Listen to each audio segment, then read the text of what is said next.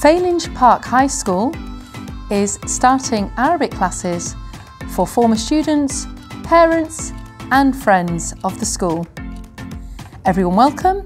If you are interested or know people who are, please contact Mr. Mia or Dr. Abu Rashid on the following numbers and emails on this poster.